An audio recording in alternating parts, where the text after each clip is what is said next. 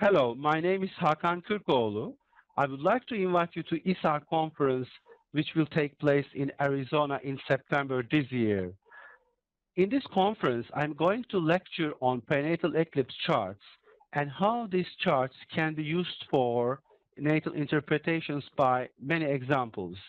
You will be surprised when you see so much information these charts can hold. I call them chart of the naked soul as they represent core themes in our lives.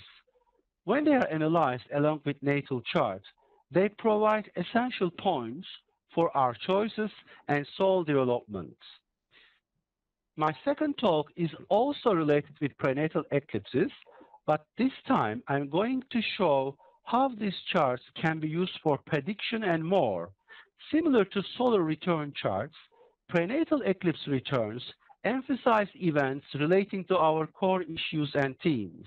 In this lecture, I'm going to give examples on how to use this technique.